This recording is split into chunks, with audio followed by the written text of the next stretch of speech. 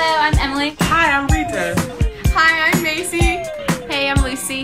Hi, I'm Sadie Zam.